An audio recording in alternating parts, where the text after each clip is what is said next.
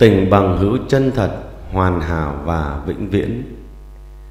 Trích khảo luận của chân phúc Andrendi viện phụ, về tình bằng hữu thiêng liêng.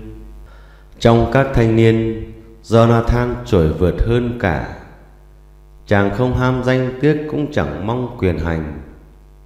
Nhưng đã kết ước cùng David, và vì tình bạn, đã coi bề tôi ngang hàng với chủ một kẻ bề tôi đang phải trốn tránh vua cha, đang ẩn náu trong hoang địa. Một kẻ bị án tử chỉ còn chờ chết, mà chàng lại quý bạn hơn chính mình. Chàng đã hạ mình xuống, nâng bạn mình lên. Chàng nói, chính anh sẽ làm vua, còn tôi sẽ làm phó cho anh.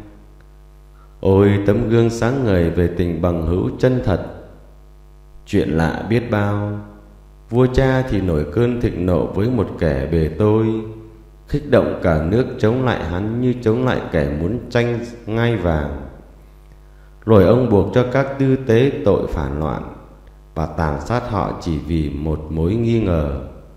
Ông lục soát rừng rậm tảo thanh thung lũng, đem quân vây hãm núi đồi. Người người quyết chí trả thù cho vua được hạ giận. Chỉ do Nathan người duy nhất có lý để ghen thì lại nghĩ là mình phải làm ngược ý vua cha. Tìm cách giúp bạn trốn đi, góp ý kiến với bạn trong tình cảnh éo le như thế. Coi tình bằng hữu trọng hơn cả ngai vàng, chàng nói, chính anh sẽ làm vua, còn tôi sẽ làm phó cho anh.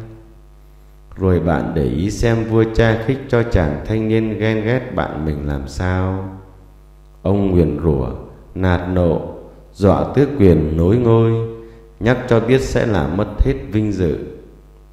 Thật vậy dầu vua cha đã tuyên án tử cho david. Jonathan vẫn không bỏ bạn. Chàng nói, tại sao david lại phải chết? Anh ấy có tội tình chi? Anh ấy đã làm gì? Chính anh ấy đã liều mạng đánh bọn phi ly tinh và phụ vương đã mừng lỡ vậy thì tại sao david lại phải chết?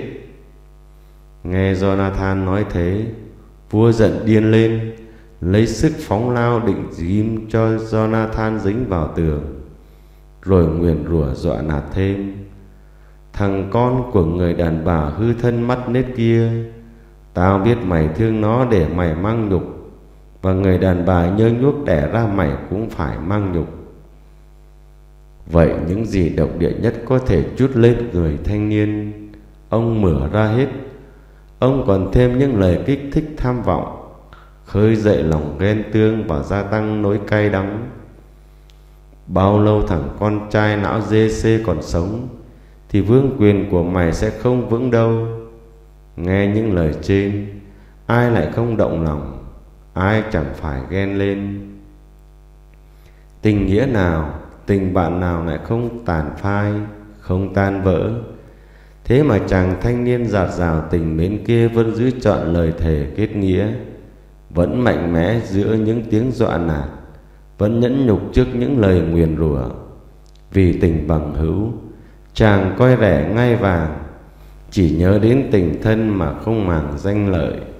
Chàng nói, chính anh sẽ làm vua, còn tôi sẽ làm phó cho anh thế mới là tình bằng hữu chân thật, hoàn hảo, vững bền và vĩnh viễn.